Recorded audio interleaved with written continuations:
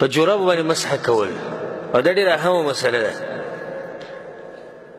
موضوع باندې مسح کول دا خو اتفاقي مسله ده او غیر نظم چې څنګه به یو څنګه باندې موضوع خبر ده ټول مني مسله چې کوم اختلافي ده هغې ته اشاره کوم او تاسو له حواله په دې در کوم زموږ چې کوم درسونه د بلوغ المرام هغه شرح مونږ کو الته د جورابو د موضوع د مسله بالکل تفصیلا مونږ بیان کړی د الحمدلله هغه درسونه وره کې به ان شاء الله فائدہ ډیره ملو شي په جوراب باندې مسح کیږي او کني کیږي زره د یو څو دلیلونه خیم یو څو دا برتم په تعدی کې ما رجمه کړی چې تاسو ته یو خیم او که په دې باندې یو سړی قرآن او حدیث سره شوق او دا وایي چې زه قرآن او حدیث منم په دې به زړه مطمئن کېږي انشاءالله اولنې حدیث واوره ثوبان رضی الله عنه حدیث دی وی بعث النبي صلی الله علیه وسلم سریه رسول صلی الله علیه وسلم یو فوجي دسته ولېږله یو جنګ دپاره فاصابهم البرد په باندې سمه یخني رااله سخت یخني به په لاره کې رااله فلما قدموا على النبي صلى الله عليه وسلم شكوا اليه ما اصابهم من البرد کله چې رالو یا رسول الله سمه یخني و مونږ ته سم ګران لکه دا سفر ډیر ګران مونږ ته پریوت فامرهم ان يمسحوا على العصائب والتساخين رسول سم ته وی په عصائب باندې مسح کوي او په تساخين باندې مسح کوي عصائب خو معلوم دي پټکی یعنی په پټکو باندې مسح کوي و التساخین او تساخین هر هغه شی ته ویل کیږي چې خپه پی ګرمي هر هغه شی ته ویل کیږي چې خپه پی سکی ګرمي و صرف دې چې دا ویل چې خپه په موضوع باندې ګرميږي دا ډېر ظلم نه ولی دا خپل زه خو وایم چې د موزونو په دې د دې وړۍ نه چې کومې جورابې جوړې شي په دې ډېره ښه ګرمېږي په دې کې چې کومې پیړې جورابې راځي قیمتي غونډې کې په هغې د خپل ډېره ښه ګرمېږي نو د دې حدیث نه د دې تساخین ټکي نه د جورابې ویسته دې لپاره یو دلیل پکار دی دلیل پې نشته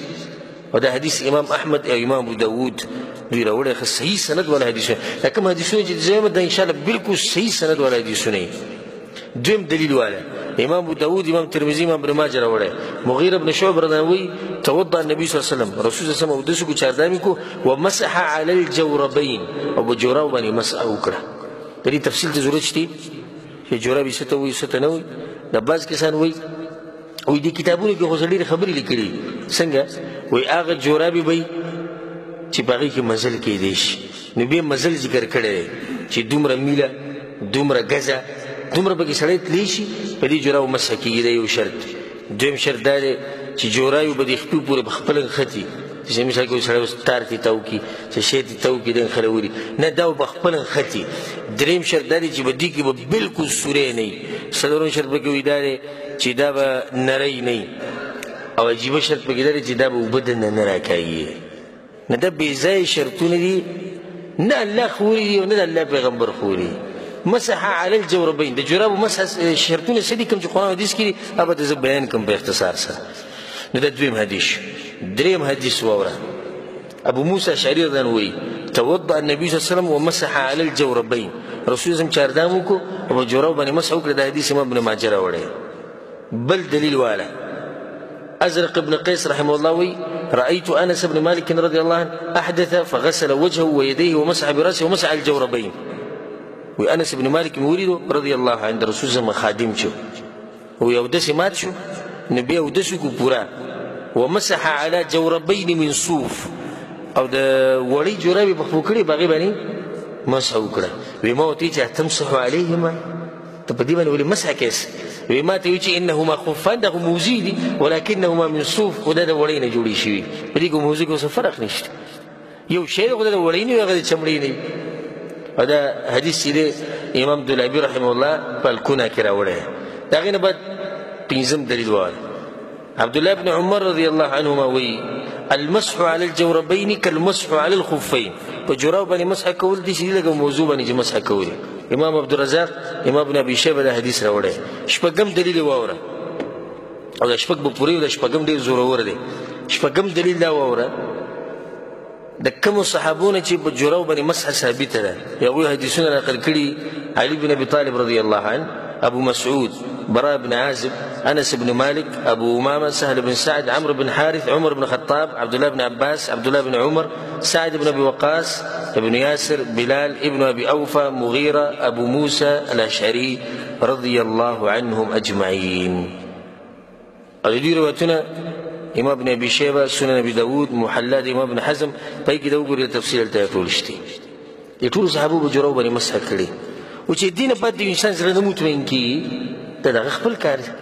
بل دا چې د موضوع باندې د مسح ولې الله موږ ته اجازه کړې ده موضوع هم ټول منو کړي ولې موږ ته اجازه راکړې ها چې سختی جوړ نه شي نو اوس په دې جورابو چې مسح کوي دغه سختی نه ده ولې موږ لیدلې نه تلار شوی نه خپل ملک کې کنه درې جوړې جورابې بخو کړي سلور جوړې جورابې بخو کړي د چې ته په دې بوډا باندې وباس او د چې ته په دې زنانه باندې وباس او د چې ته دې ماشوم باندې وباس ته ظلم نه کې خا د موضوع ویسته ګران دي که د جورب ویسته ګران دي ها جورب ویسته ګران دي موضوع خو چین کوله کوله بس ډایرک ووتي نه دا خبره کول چې صرف په موضوع کې په جورب نه کې د کمزوري خبره ده په اخر کې صرف د شرطونو سره یاد ساتي د قصلور شرط دي چې په قران او حدیث کې شتي په جورابو باندې او د موزي د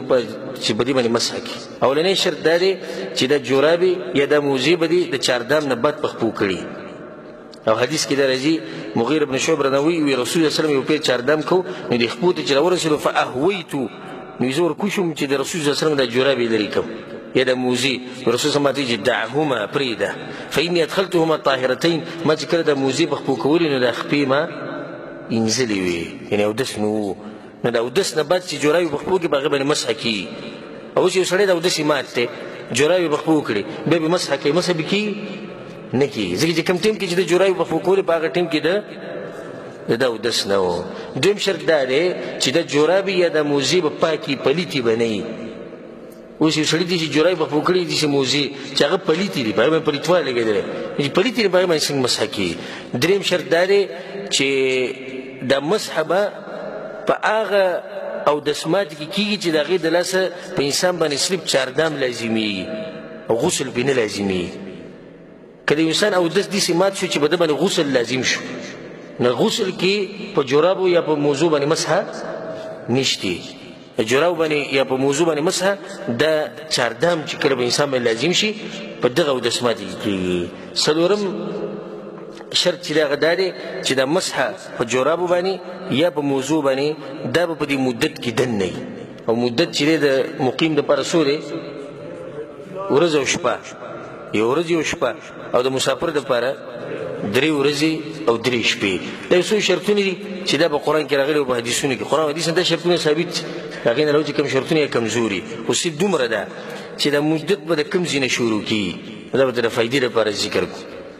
مدت شروع کیږي د اولنۍ مسحنه اولنی مسنه دي سي یو سړی دی سحر سلور بجې جورای بخپو کړی او د سی کو جورای بخپو کړی او منزل لاړ نه بجو کې دا د سمات شو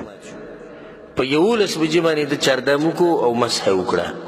نو ټیم د کم جنې شروع شو یو لس بجو نه شروع شو دغه کوم وخت چې جورای په خپل کړه غیر ټیم نه شروع کی دا ودسی چې کوم ټیم کومات شروع دینه ټیم نه شروع کی ټیم شروع کیږي د اولنی مسح نه کوم چې د یو دسمات نه بعد وکړه د باز مسلې وي اگر که دلته نور تفصیل من کولای شو ټیم رسې نور نشتی